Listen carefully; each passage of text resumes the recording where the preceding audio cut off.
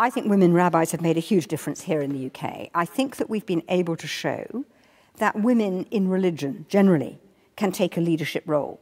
There's just been a vote in the Church of England to allow women bishops about bloody time. I used to find, as a young rabbi, that I was invited to all sorts of churches of England to preach, to show it wasn't that they were prejudiced against women, they just didn't want them in their own church.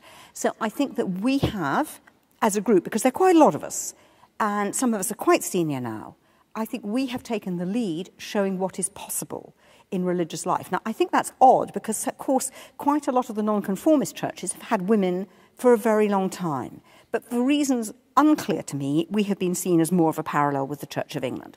So I think we've made a great deal of difference to the, if you like, religious status of women in the established church here in the UK. I also think within Judaism itself, we have upped the ante on what girls can do. So if you look at what Orthodox congregations now do for their girls at bat mitzvah, still not full bat mitzvah as we would understand it, but at least they get something. At least they get recognition. At least women now sit on synagogue councils, on synagogue boards in the Orthodox. You know what? I suspect our presence, our seniority, our voices have made that possible.